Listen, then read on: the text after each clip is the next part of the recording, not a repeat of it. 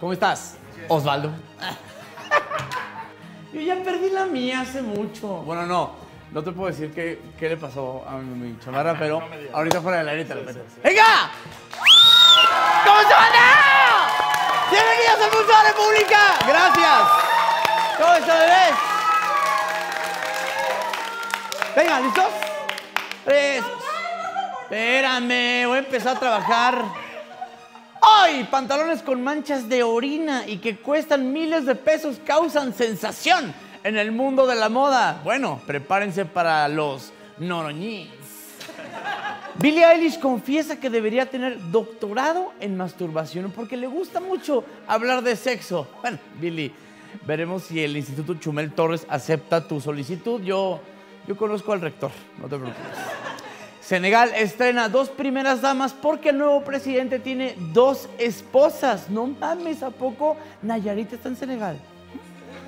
Irak condena hasta con 15 años de prisión a las parejas del mismo sexo, güey. 15 años siendo torturado y encerrado con las mismas personas, eso es un matrimonio.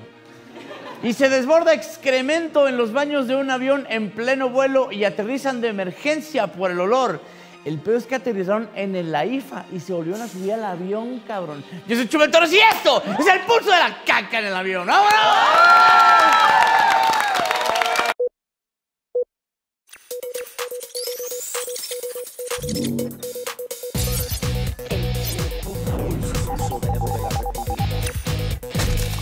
El pulso de la República.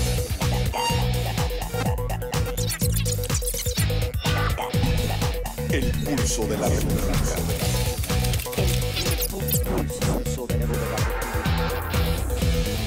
El pulso de la República.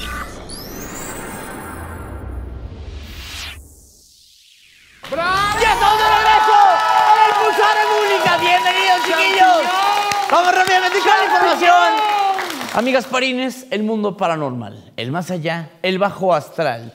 Tal vez uno de los misterios más grandes y sobre todo de lo que más nos causa terror a nosotros, los simples mortales.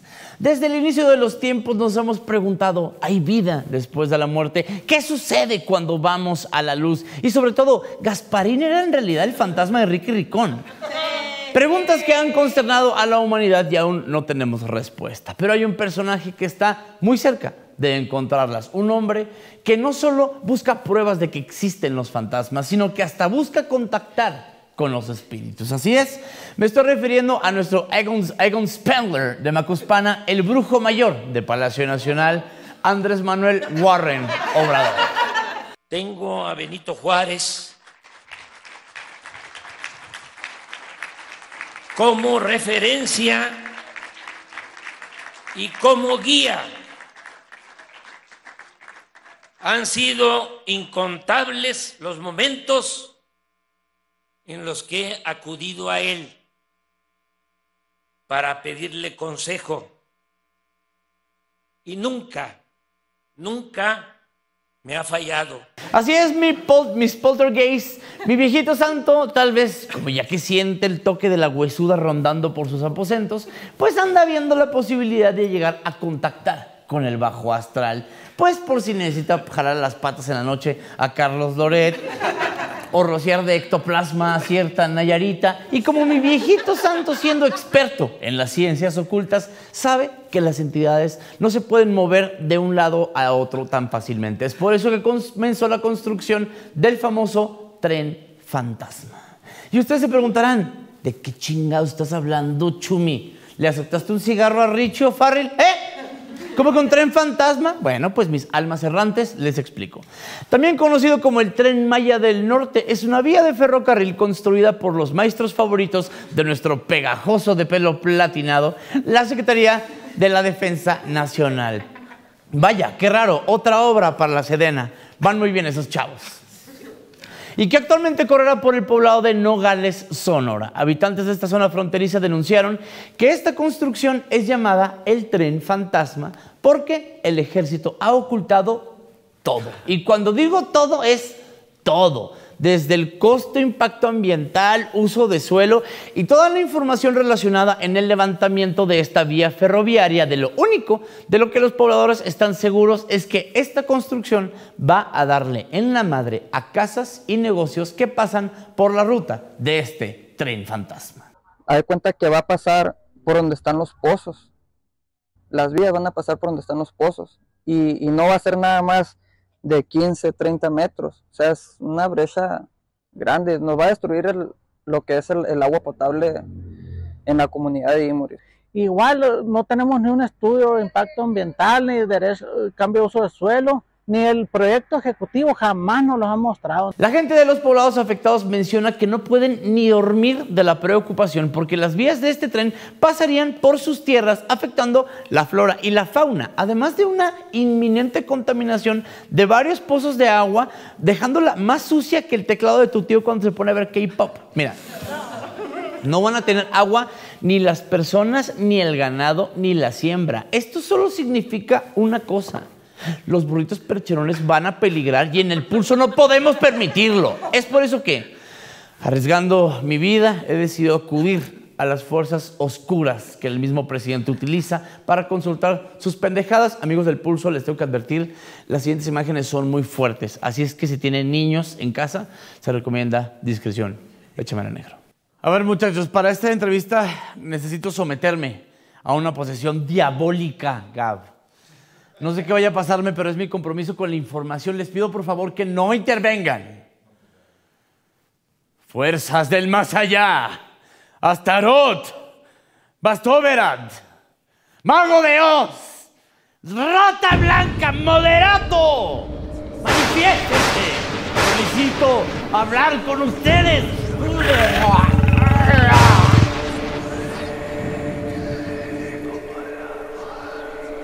¿Quién me conjura? Ah, estás adentro de mí. Exacto. Como los sábados de toallas locas en esos congales a donde vas. ¿Qué quieres, maldito mortal? Chu mortal. Oye, así rápido. ¿Sabes qué pedo con el tren fantasma? ¿Sabes por qué AMLO lo quiere hacer? ¿Por qué tanto misterio, Chumi poseído? Ah, sí, ese pinche tren, ni me menciones. Está en un desmadre. Fuck. En realidad, el ruco lo quiere para que cuando esté de este lado, pues tenga en qué moverse. Es que dice que le da miedo volar. Y tampoco sabe manejar, ni que se va a matar otra vez. Viejo ridículo. ¡Ya no se! ¿Y ya? ¿Nomás eso? No mames. Sí, ya ves que le encanta hacer obras pendejas y sin transparencia. Por acá. Por acá también las quiere hacer. Y mira que lo nuestro es ser transparentes, pero bueno. Oye, Chumi, este, ten mucho cuidado, cabrón. Ahí anda un pinche nahual bien culero gobernando Campeche. No te vayas a hacer algo, hijo. Ah, no, no, hermano. e- Esa es Laida Sansores. No, no hay pedo. Pues no sé, cabrón. A mí ya, ya me yo medio, güey. La verdad, pues cuídate, papito, eh.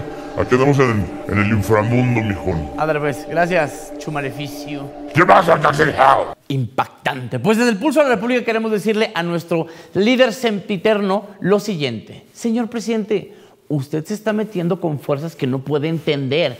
Ya deje a los trenes en paz. Solo está metiendo en pedos a los mexicanos. Primero en la selva maya y ahora quiere cargarse al norte. Recuerde una cosa, usted, usted se va, pero lo que nos va a dejar, nos va a llevar el tren son a todos nosotros. Regresamos.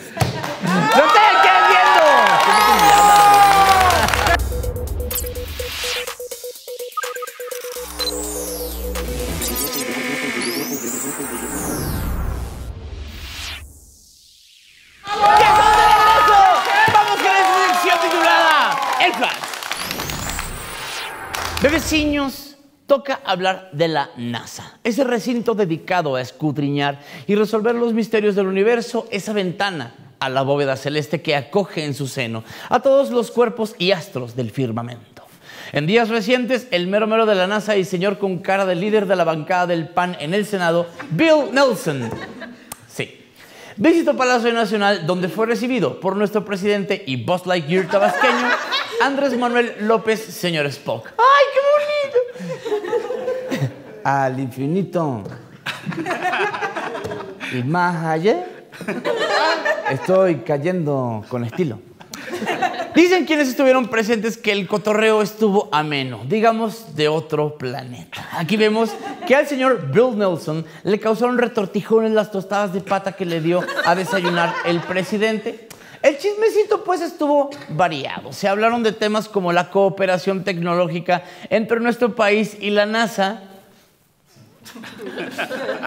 No mames, ¿cuál cooperación, mamón? Tenemos un mes sin poder quitarle el diésel al agua y ahora hablando con la NASA, que vamos a comentar. Bueno, pues. Así es, mis cadetes espaciales, nuestro presidente le pidió al director de la NASA que se mochase con la tecnología para poner en órbita los satélites BN Star, que tendrán como objetivo la retransmisión de los partidos de béisbol para que los pueda ver cuando se jubile y se vaya a la chingada en transbordador. A cambio, nosotros le vamos a decir cómo construir una nave espacial como la del rey Pacal. Ah, mira. ¿Y dónde se esconden los aluches y extraterrestres que se encontró don Jaime Maussan?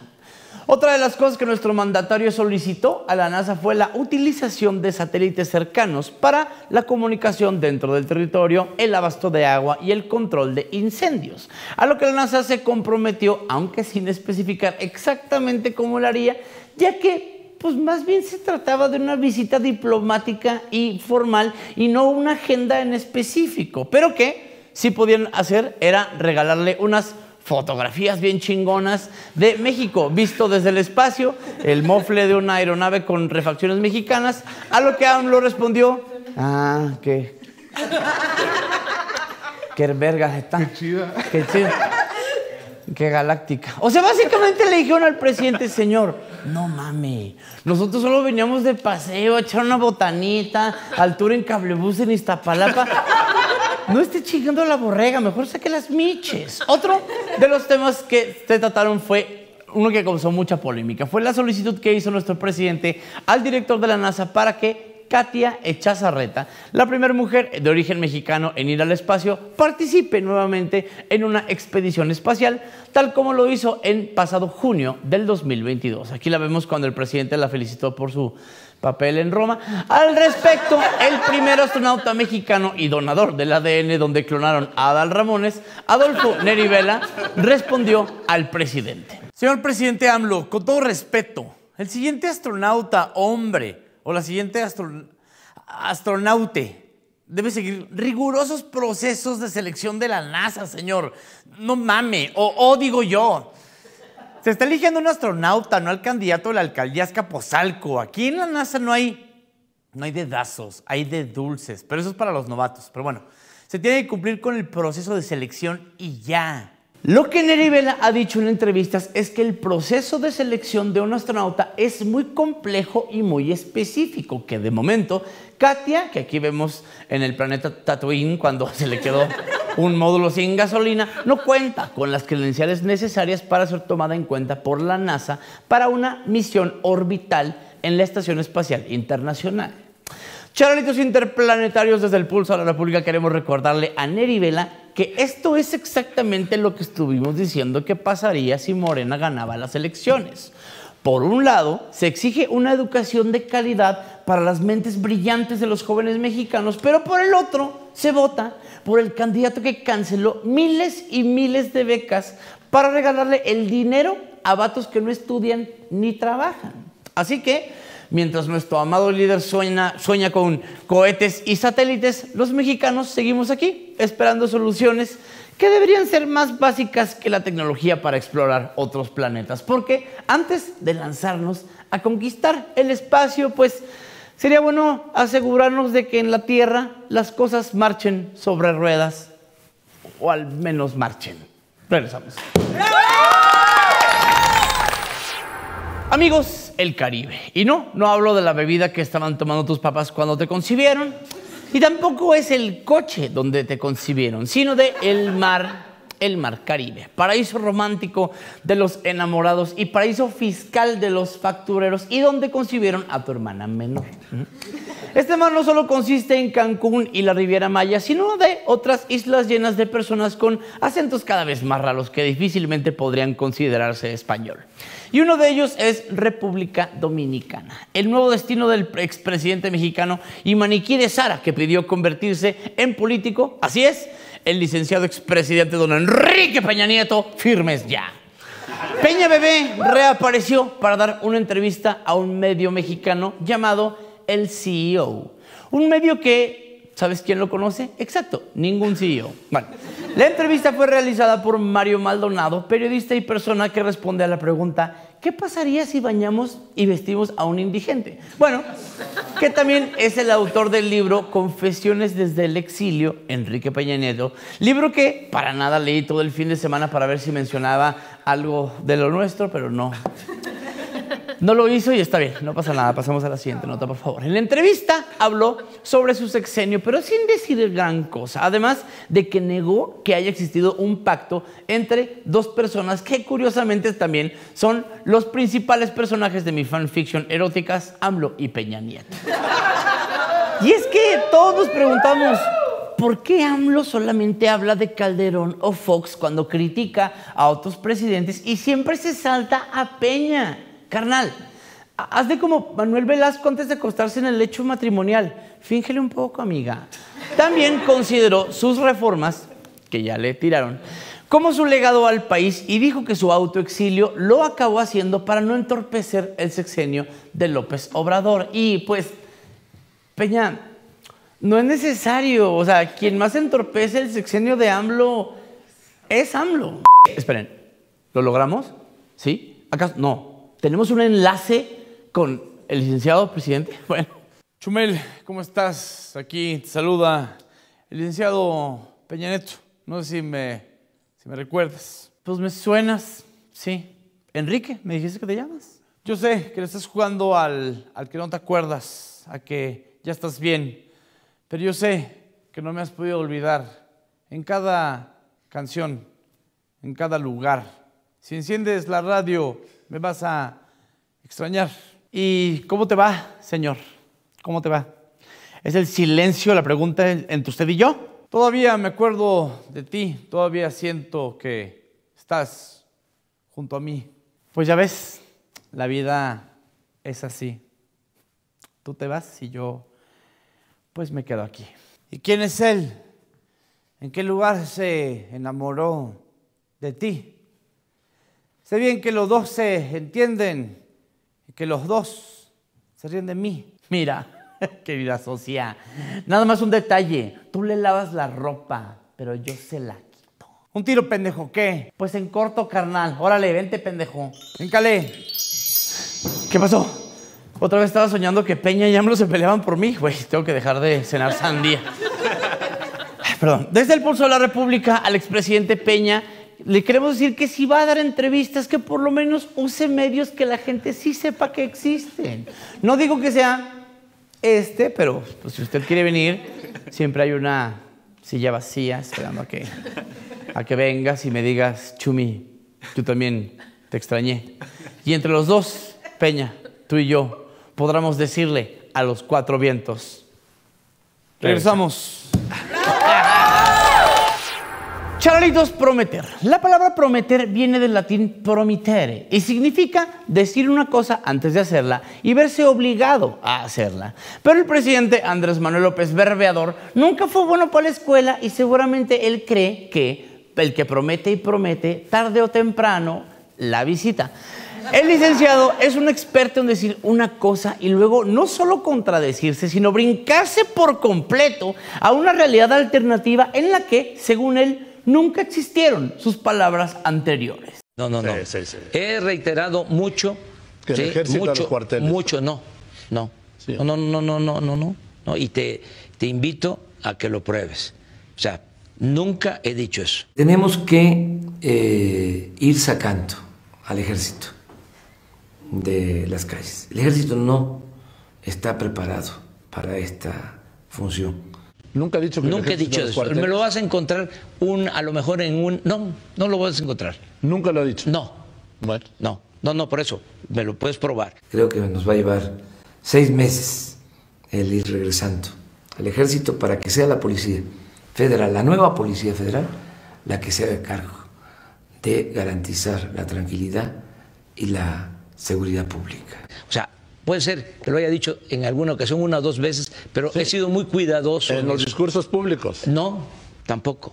No se resuelve nada con el uso del ejército, de la marina. No necesitamos un ejército para la defensa. Nosotros no vamos a apagar el fuego con el fuego. No, no, no, no, no fue así. Sí, sí. No, literal no. Este video es de 2018 cuando mi copetito del leucocito estaba en campaña y cuando le preguntan si dijo o no dijo que iba a sacar al ejército de las calles pasó lo mismo de siempre. Negó la realidad. La semana pasada volvió a suceder y nos dieron otra joya más de mi licenciado experto en voltear la tortilla, una tortilla más volteada que Mario Delgado saliendo del Querubines Puerto Vallarta una noche de petacones, dos por uno. Qué asco. Siento que es un evento real, ese, ¿no? Sí, ¿eh? Brian. Resulta que ahora dice que las Fuerzas Armadas son la cura para resolver el problema de la inseguridad en el país, cuando en realidad sirven menos que la ivermectina para tratar el COVID. Te estoy viendo, Claudia Cheva. ¿En serio? Antes se la pasaba criticando que los militares estuvieran en las calles todos los días, chingui, jode Calderón, por tener soldados haciendo la chamba de la policía. Pero resulta que cuando le toca ser cantinero, ahora sí, los militares sí son bien buenos para sacar la chamba y que él nunca dijo que había que regresarlos a los cuarteles. Presidente, aquí yo sí quiero preguntarle una cosa que me queda la duda. La Constitución dice que las Fuerzas Armadas están para proteger de riesgos en el exterior a el territorio nacional y también pues a, a zonas de seguridad, llamemos plataformas Sí, sí, petroleras, etcétera. ¿Por qué ese afán, después de que usted había dicho cuando fue candidato en no utilizar al ejército y eh, bueno pues ahora eh, pues a través de diversos recursos legales eh, trata de eh, legitimar el uso de las fuerzas armadas para pues que hagan tareas de seguridad. Primero yo nunca dije eso. Usted dijo que regresaría el- al ejército a los No. No. Yo dije de que había que apoyarlos. Señor, ¿no le da pena? Esas frases bonitas que soltaba durante su campaña de que los militares dejarían las calles en seis meses y que cuidaría que no se usaran para reprimir al pueblo, ¿dónde quedaron? ¿Se le olvidaron en el camino? ¿Le gustó que sus hijos por fin se pusieran a trabajar, aunque fuera vendiéndole balastro defectuoso a la Sedena?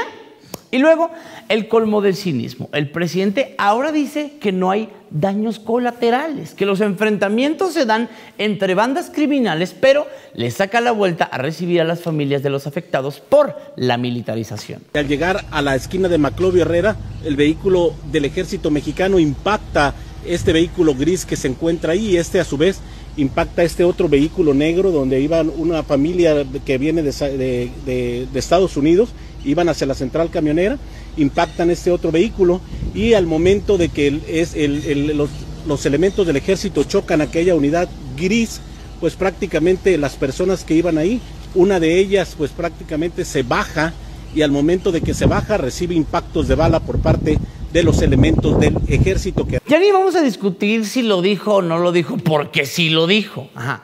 Lo importante aquí es considerar las implicaciones de mantener al ejército en las calles. Los soldados están entrenados para combatir, no para funciones policiales. No son abogados, no son vendedores, no son hoteleros y definitivamente no son la solución a todos los problemas de este país. Continuamos.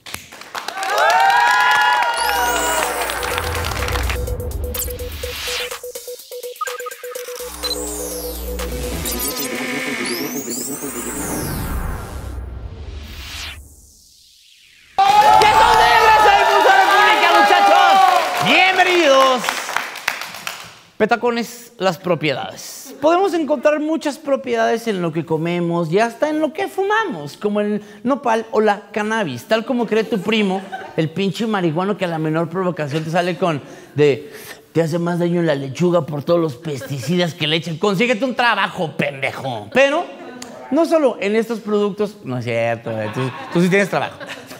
Pero no solo en estos productos encontramos propiedades. Cada vez es más frecuente que a los políticos y a sus familiares les encuentren unos terrenitos por aquí, unas casitas por allá, en este monopolio amañado al que llamamos México. Algo que en este sexenio debería ser muy raro, porque se supone que el licenciado ya acabó con la corrupción. No es como que le hayan sacado a la luz escándalos como el de sus hijos y sus amiguitos con el balastro del tren Maya, el de sus hermanos con las aportaciones al movimiento en sobres amarillos o de varios de sus colaboradores y cercanos como en Segalmex. Y ahora el caso más reciente de la exsecretaria de Energía, a quien aquí vemos contestando la pregunta, ¿quién se quedó con todo el dinero de dos bocas? Rocío Nale.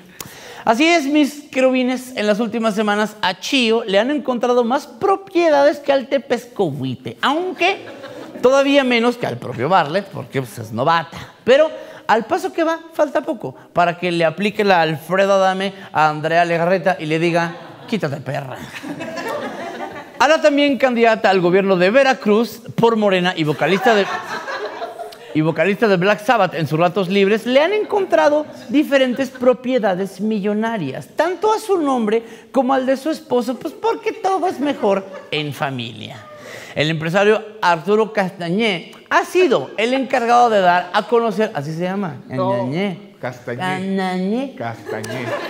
Ha sido el encargado de dar a conocer las propiedades de Rocío Nale, entre ellas una de superlujo en El Dorado, un fraccionamiento exclusivo en Boca del Río Veracruz. Y ustedes dirán,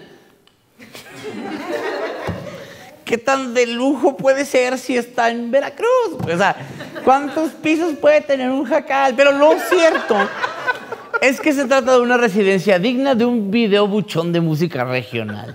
Y ahí la señora Nale respondió como uno esperaría que lo iba a hacer, con un rotundo, eso no es mío, yo nomás lo renté.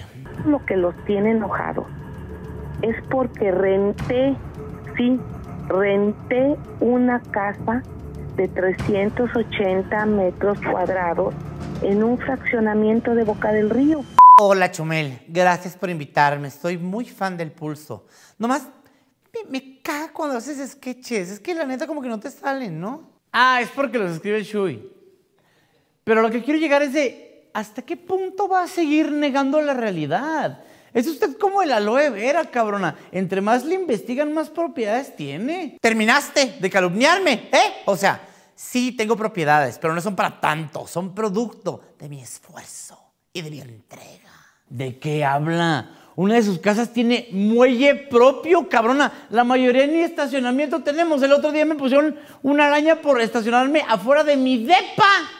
Pobrecito, ¿no has pensado en, en ganar más dinero? ¿Qué? O sea, sí, si compras 27 casas, vives en una y vives de las rentas de las otras, está fácil. Ah, ya estoy entendiendo. A ver, ¿cuántas casas tiene candidata? Ay, a ver, si tan solo los candidatos de Morena supiéramos contar, pues no sé, no sé. Pero oye, viéndote bien, no te ves tan feo, ¿eh? Como en el YouTube. Ahí te ves medio demacradón, cansado, canudo, pero, pero está bien. Desde aquí se ve como que si aguantas un piano. Y hablando de ponerte la araña, ya antogaste. Se me hacen muy inapropiados sus comentarios, pero dígame más. ¿Qué vas a hacer de aquí saliendo? Tengo 18 casas solas. Puta madre, porque siempre le gustan las que no me gustan. Pero bueno, ahí pidió el Uber. ¿Dónde está? Pero eso no es todo. El empresario también reportó un departamento en la exclusiva zona de San Pedro Garza García, cerca de donde vive la primera dama más nice de México. Así es, Marianita Chanclas Perdidas Rodríguez y otro en un fraccionamiento de Villahermosa, Tabasco. Y la pregunta es la misma que te haces cuando tu vecino, el que lleva dos años con su casa en obra gris, llega de pronto en un convertible y tú, ¿de dónde sacó este dinero? ¿No andará en algo más chueco que la mandíbula de Choker? ¡Ah. ¿Estás bien, mi bro? ¿Quieres una agüita mineral? Y sigue habiendo más, pues también denunció que la morenista se pasea con una caravana de camionetas de lujo, una de ellas prestada por un gobierno, adivinaron, de Morena. Pero, como ya vimos, la señora le ha aprendido muy bien al licenciado la manera de evadir todo y de contraatacar, por lo que denunció al empresario con la receta de siempre y acusándolo de utilizar documentos falsos y violencia política de género. por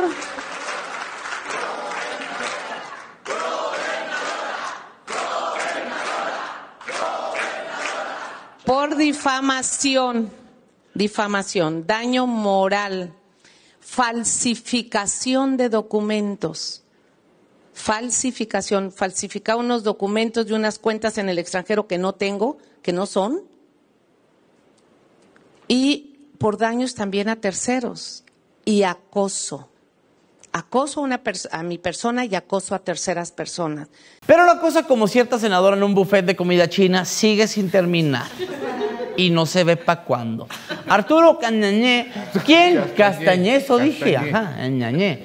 Quien ya denunció a la morenista por enriquecimiento ilícito, también señaló que la señora tiene cuentas bancarias en paraísos fiscales en el Caribe y las Bahamas, donde mete su lana la pura crema innata de los delincuentes de cuello blanco, aunque en este caso lo traiga medio percudidón, pero ¿qué tiene? Y hace unos días el mismo empresario con el alma de Sherlock Holmes se encargó de revelar que la señora Nale se internacionalizó al comprar un departamento no en Cuba, no en Venezuela, sino en la neoliberal zona de West Side en Manhattan, a unos pasos del Chapultepec neoyorquino Central Park. El valor de dicha propiedad ronda los 2.7 millones de dólares, o sea, 46 millones de superpesos mexicanos. Lo único malo de ese lugar es que en una de esas probablemente tenga de vecina a Yoko Ono. Ah, porque está junto al ex departamento de John Lennon. Imagínate escuchar todas las mañanas los berridos de Yoko. Así no se puede vivir. Fuerza, Rocío, te comprendemos. Pues así es, bebecitos. Parece que para los consentidos de Dios, cumplir los caprichos al licenciado sí deja y bien. Sobre todo si ese caprichito es una refinería con sobrecosto, aunque nada más no se ve para cuándo refine el primer litro de gasolina. Pues en el país más normal del mundo ya no nos sorprende nada, ni nos sorprende que los políticos cercanos al poder se llenen de propiedades que salieron, quién sabe de dónde, porque nuestro presidente ya dijo que terminó con la corrupción y el discurso oficial del régimen es que como el tren fantasma, el ejército en las calles y el pacto de Peña y AMLO son cosas que dicen que no existen, pero que son más reales que el 2 por 1 de petacones en el Querubines de Puerto Vallarta. Regresamos.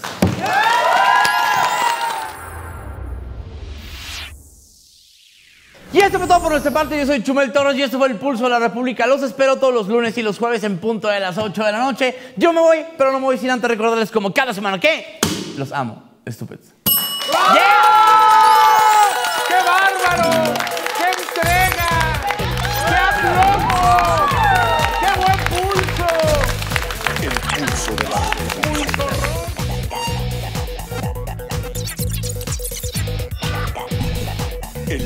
de la República.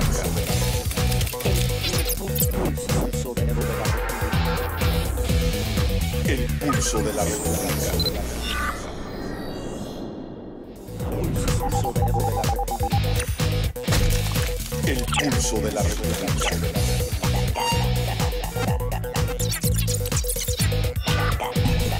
El pulso de la República.